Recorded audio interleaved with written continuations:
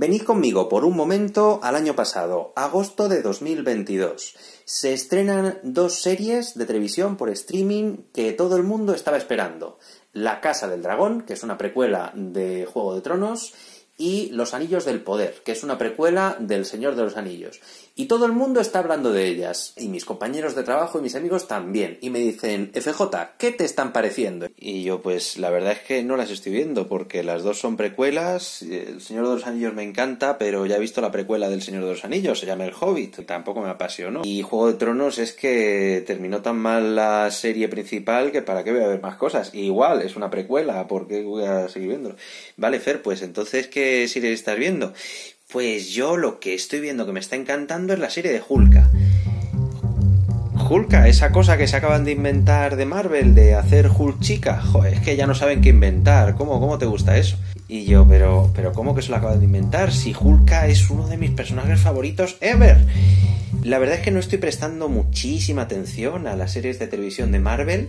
Me vi la de WandaVision. De las series que me he visto es la que mejor hace uso de su condición de serie. Pero luego la serie que salió del Soldado de Invierno y Halcón eh, pues estuvo más o menos bien, pero podía haber sido una película, no tenía por qué haber sido una serie. La de Loki, tres cuartos de lo mismo. No necesitaba tantas horas para contarme la historia de Loki, o sea, estuvo muy bien, disfruté la serie de Loki, pero en versión peli hubiera estado casi mejor. Luego empecé a ver Ojo de Halcón, pero la dejé a medias y no me he visto nada de Moon Knight, ni me he visto tampoco Miss Marvel. Pero me reenganché en cuanto salió la serie de Hulka. Mira toda la colección de cómics que tengo ahora mismo de, de Hulka. Tengo cómics de todas las etapas de Hulka menos de una. Mira, la etapa original, que es La Salvaje Hulka, es una serie de 25 números que salió en 1980, inventada por Stan Lee y por John Romita, pero solamente en el primer número. Los otros 24 números fueron de David Anthony Kraft y de otro dibujante que no me acuerdo. Luego, en el resto de los años 80 no hubo serie principal de Hulka, pero apareció en los cómics de los Cuatro Fantásticos y de los Vengadores. Luego la segunda gran serie de Hulka de John Byrne, que es la serie más icónica del personaje, que duró nada menos que 60 números. Luego le perdemos la vista a Hulka desde 1995 hasta 2006 y en 2006 vuelve a salir una serie regular, que en realidad fueron dos series regulares seguidas, una de 12 números y otra de 21, que están recopilados en estos tres tomos de aquí. Aquí estaría la etapa que me falta, que es la de Charles Soule. Es una etapa de 12 numeritos que no es difícil de conseguir en absoluto porque Panini acaba de sacar un recopilatorio. Pero bueno, es un cómic que tengo pendiente, ya lo cogeré un de estos. Luego está esta serie que se llama Fuerza V que salió en 2015, que fue justo cuando empecé a coleccionar cómics mensuales. Es una serie de 15 numeritos, que es un grupo de vengadoras chicas y la líder es Hulka.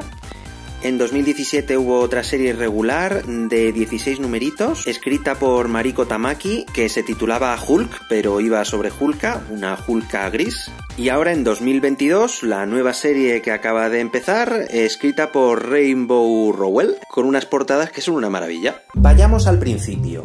Capítulo 1. La salvaje Hulka. Entonces, empezando por esta serie inicial de 1980 de 25 numeritos, Panini lo sacó en dos volúmenes. El primer volumen titulado La saga comienza y el segundo y último titulado La saga termina. Y luego, aparte de tener esta recopilación, tengo dos de los numeritos, la versión original americana.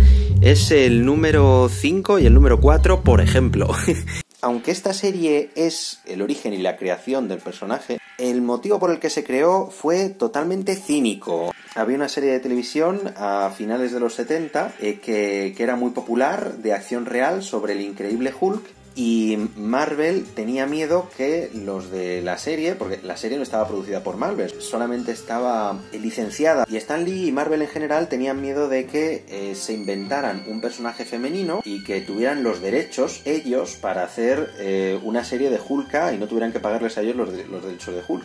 Y por eso hicieron el número uno de Hulk que es muy sencillito. Es la prima de Bruce Banner, es una abogada y está en medio de una serie de juicios contra un mafioso. La disparan por la espalda y se queda en coma y la única manera de salvarla es que Bruce Banner, que está por ahí cerca, le done sangre y al donarle sangre pues le pasa el, tema gamma y se convierte en Hulk. Stan Lee y John Buscema no hicieron nada más que eso, dejaron el resto, los otros 24 números, eh, para un tal David Anthony Kraft y lo único que diferenciaba a esta Hulka de Hulk, aparte de ser chica, es que cuando se convierte en Hulka sigue manteniendo la inteligencia y sigue siendo Jennifer Walters, pero está mucho más cabreada. Y no tiene mucho más, o sea, si la serie, si Hulka se hubiera quedado en esta serie, no hubiera sido un personaje trascendental y desde luego no hubieran llegado a hacer la serie de televisión actual. Esta edición recopilatoria en dos tomos salió en 2021 y una cosa interesante que tiene son eh, unas introducciones por David Anthony Kraft y en estas introducciones comenta una cosa de la que eh, de la que no me había dado cuenta mientras estaba leyendo el cómic. Hulka tiene un novio Jennifer Walters tiene un novio distinto, aunque Hulk y Jennifer Walters sean la misma persona. Hay un pelín de drama en ese sentido, pero en definitiva no se llevan entre sí especialmente mal y conviven en esa situación y consiguen, y consiguen llevarlo con razonable naturalidad. Eh, no le había prestado especial atención porque no es una trama principal, es una cosa que está de fondo, secundaria en la historia. Pero en las introducciones el autor comenta que introdujo este detalle de manera completamente deliberada y que estuvo especialmente contento de que los censores no se dieran cuenta. o sea, al fin y al cabo, si os dais cuenta, estamos en un cómic de principios de los 80 eh, que representa una relación poliamorosa eh, sana y eso pues me parece bastante revolucionario. Si bien es algo que luego no se ha visto en ningún cómic posterior de este personaje, de hecho los dos novios me parece que no salen eh, prácticamente en ninguna otra colección ni de Hulka ni cualquier otro cómic del universo Marvel. Hulka ya tendrá, tendrá novios mucho más interesantes en el futuro. Como iremos viendo, la serie de televisión actual no adapta una colección determinada de Hulka, se inspira principalmente en la colección de Dan Slott de 2006 que miraremos más adelante, pero coge en realidad detalles de todas las colecciones. Eh, pero de esta primera colección no coge prácticamente nada, si acaso únicamente el origen y en realidad cambiándolo bastante, porque en la televisión, en lugar de tener ese origen tan dramático, simplemente tiene un accidente de coche con Hulk y se le mezcla la sangre en el accidente. La verdad es que eso me parece menos interesante que el origen en el cómic y, me parece más reminiscente del origen de Doctor Extraño. Pero la serie de televisión hace una cosa que no estaba originalmente, porque en el cómic Hulk, según le hace la transfusión de sangre, desaparece y no vuelve a aparecer en toda, en toda la colección y prácticamente no aparece en ningún cómic de Hulk, que para eso son cómics de Hulk y no de Hulk. Pero en la televisión Hulk no se marcha inmediatamente, sino que se pasa prácticamente todo el episodio piloto haciéndole un cursillo a su prima de cómo ser Hulk y tratando de ayudarla en este gran cambio inesperado que ha habido en su vida. Y eso me parece un añadido fantástico porque ayuda, sobre todo a los nuevos espectadores, a ver las diferencias de, entre Hulk y Hulka. Porque Hulka, al fin y al cabo, es un derivado de Hulk, pero no es una copia de Hulk. Tiene sus propias normas de cómo funcionan sus poderes, tiene su propia personalidad. No tendría ningún interés hacer una copia de Hulk en chica y quedarse ahí, sino que es interesante, pues eso, ver las diferencias entre ambos personajes. He visto por internet que hay gente que se queja y le parece, pero bueno, ¿por qué Hulk va a poder controlar mejor sus poderes que Hulk? Maldito feminismo. Eh, primero, el feminismo es muy importante y segundo, no es eso, es que es uno de los detalles que diferencian estos dos personajes. Hulk tampoco es un abogado, no sé si me explico, y Hulk consigue ser un personaje completamente independiente y la experiencia de leer un cómic de Hulk es completamente distinta a la experiencia de leer un cómic de Hulk, al ser aventuras en un tono completamente diferente. Capítulo 2. Una temporada sin serie propia. La segunda etapa, tal y como yo lo veo, no es una serie de Hulka propiamente dicha, sino las apariciones del personaje desde 1983 hasta 1990. Aunque habían cancelado la serie, no retiraron al personaje y lo pusieron a marchar con los Vengadores. La serie de los Vengadores de esa época no la tengo yo, pero sí que tengo este momento súper importante del personaje que son las Secret Wars de 1984. Es una serie de 12 números que fue el primer gran crossover de Marvel, que consistía en que un ser todopoderoso llevaba a muchos héroes y muchos villanos a un planeta lejano y les obligaba a pelear entre sí. Hulka no es la protagonista, de hecho, la gracia de Secret Wars es que es una historia coral, aunque tirando los últimos números, el prota o el antihéroe termina siendo un poco el Doctor Muerte, que es otro personajazo de Marvel. Pero es importante para Hulka por dos motivos. Primero, porque durante esta serie el Doctor Muerte crea a la, villana que será la antagonista más recurrente de Hulka,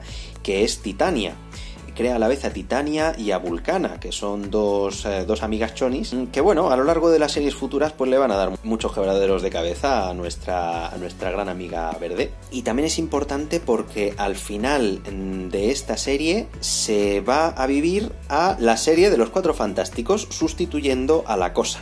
Cuando Hulka se fue a la colección de los Cuatro Fantásticos, esta estaba pasando por una de las mejores etapas que fue la época escrita y dibujada por John Byrne, que en los 80 cada cómic que sacaba era una sacada de chorra. La edición que tengo es este coleccionable de 25 volúmenes. Debe ser uno de los primeros cómics de superhéroes que coleccioné y que me leí y, me chifla. La entrada de Hulka fue a partir del número 13 y John Byrne pues empezó a jugar con el personaje y se le empezó a notar que era uno de sus personajes favoritos es aquí John Byrne cuando realmente desarrolla al personaje, lo diferencia ya finalmente de Hulk y le empieza a dar sus cualidades más interesantes. Ya habíamos de alguna manera explorado que Hulk no tiene dos personalidades como Hulk, pero tal y como lo escribe nuestro buen amigo Byrne, cuando se convertía en Hulk, lo que hace es potenciar sus cualidades como persona y lo convierte en una mujer liberada que no solamente crece en altura y se vuelve realmente fuerte físicamente, sino también con una personalidad fuerte y sexy, es interesante ver las diferencias entre Hulka y su alter ego humano, la abogada Jen, pero hay más parecidos que diferencias. Y este número de aquí, la verdad desnuda, en, si bien no es un cómic de Hulka propiamente dicho, sino de los cuatro fantásticos, es uno de mis números favoritos de Hulka. Por esta época, John Byrne también hizo esta pequeña novela gráfica de unas 80 paginitas, que bueno, está bien, no es tan bueno como los números independientes de los cuatro fantásticos, pero es una aventura más. En España, como veis, se llamó Hulka, pero en la versión original se llamó La Sensacional Hulka, que luego ese título lo cogieron y se lo dieron a la segunda serie regular que salió por fin de Hulka en 1990. Capítulo 3. La Sensacional Hulka. En 1986, John Byrne abandonó de improviso la cabecera de los Cuatro Fantásticos porque se cabreó con Marvel por una serie de circunstancias en las que no vamos a entrar y se fue a la competencia durante varios años, pero por fin le convencieron en 1990 para volver y la manera de convencerle fue otorgarle una serie eh, exclusiva de Hulka. La primera era la original, la salvaje Hulka, pero aquí se tituló La sensacional Hulka, o directamente en la versión española, como podemos ver, simplemente Hulka. La edición que tengo yo es la edición española que salió en grapa a principios de los 90 no porque la coleccionara por aquel entonces, por aquel entonces yo no coleccionaba cómics en grapa, era un niño muy pequeño, no leía, no leía estos cómics. Yo no empecé a meterme en el mundo de los superhéroes hasta los 2000 casi, pero esta colección creo que la conseguí pues por 2017 o por ahí a través de Wallapop. No me costó tampoco muchísimo dinero. También yo creo que por aquel entonces salió este pedazo de tomo de Marvel Heroes que recopila pues eso, toda la, toda la colección o por lo menos los números que escribió John Byrne. Sobre todo lo que la define aquí es que se trata de un cómic de humor y que rompe la cuarta pared, no, la destroza, la desgarra, rompe las páginas del cómic, se va a caminar entre las páginas de anuncios. Es una auténtica maravilla esta colección. Son 60 números, más del doble que la colección anterior, y es hasta ahora la colección más larga de Hulka. Es la más icónica, si bien no es una serie perfecta, sobre todo su publicación pues está también reñida por los cambios de humor de, John Byrne. De los 60 números, John Byrne solamente dibujó unos 30, ni siquiera los 30 primeros, ¿eh? o sea, se encargó de los 8 primeros que son seguramente lo mejor de la colección. Luego se volvió a cabrear con Marvel y se piró. Y volvió en el número 31 que en España, ojo al dato, no es el 31 sino el 22, porque en España lo que hicieron fue saltarse gran parte de la, de la colección. Esta edición española no la tengo completa, pero tampoco tengo interés en tenerla, en tenerla completa. Tengo esos ocho primeros números, luego tengo algunos números intermedios que no son especialmente buenos. Si en algún momento los sacan en un recopilatorio, pues seguramente los, los terminaré comprando. Aún así, en España no hubo el resurgir de ventas que se esperaba y eh, cancelaron la colección en el número 27, que vendría a ser el número 31, 32, 33, el número 36 o algo así de la versión americana. Aquí pone último número, pero estamos hablando de que la colección original eran 60 números, así que no puede ser el último número. Bueno, aunque no siguieron publicándolo en grapa, luego sacaron estos dos tomillos y estos dos tomillos pues eh, tienen el resto de números que estaban sin publicar de John Byrne. Eso sí, acaba en el número 50, que es el, que es el último número que John Byrne publicó. Del número 51 al 60 pues no se ha publicado en España. No se han publicado nunca, ni en recopilatorio ni nada. Y no deben ser muy buenos porque mm, de todas maneras quiero decir, John Byrne abandonó como digo en el número 50 y solamente 10 números después cancelaron la serie. O sea que debieron ser 10 números bastante malillos. Pero ya te digo, de toda esta colección, los que están escritos y dibujados por John Byrne son de lo mejorcito que ha salido jamás del cómic humorístico de superhéroes. Con roturas de la cuarta pared realmente revolucionarias. Miran en la portada del primer número, básicamente diciéndole al lector que es la segunda serie que sale de Hulka y por lo tanto la segunda oportunidad de comprar los cómics. Y que si no lo compres, vamos a ir a tu casa y te vamos a destrozar los cómics de los X-Men. Uno de los motivos por los que molan estos primeros números es porque se mete también con los eh, números equivalentes de otras colecciones. Por ejemplo, en el segundo número está leyendo el segundo número del increíble Hulk y el argumento del capítulo, digamos que es un espejo del segundo número de Hulk. Luego, en el tercer número de muchas series, Marvel, incluso a día de hoy, suele meter un personaje popular, como por ejemplo muchísimas veces Spider-Man, eh, para darle un pequeño boost a la serie, un pequeño empujón a la serie.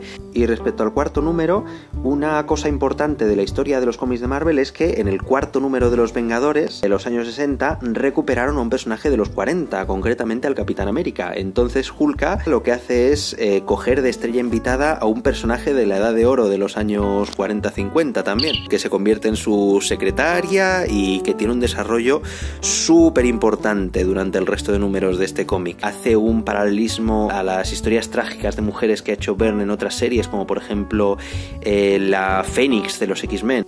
Realmente una de las cosas que define esta temporada es la absurdez y el humor surrealista a pesar de que haya esos pequeños tintes de drama. Pero eh, uno de los motivos por los que me alegro de tenerla en versión grapa, aparte de por coleccionismo, es porque esta serie mola leerlo en grapa, porque suelen ser capítulos autoconclusivos. En el recopilatorio este enorme que ha sacado Panini hace unos años y que ha reeditado también hace poco, no me gustaría tanto tenerlo porque, jolín, mola más como cómic del mes, digamos, como leer cada número independiente como si fuera el número del mes. Aparte no me gusta nada el papel con el que imprime Panini estos cómics antiguos. Mola más este papel poroso que tienen estos que tienen estas ediciones antiguas que los papeles satinados que lo que hacen es no tener en cuenta lo que estaban pensando los coloristas por aquel entonces. O sea, al final terminan quedando unos cómics demasiado brillantes. Es verdad que la versión en papel poroso está más apagada, pero yo que sé, mola más este puntillismo y tiene mucho más encanto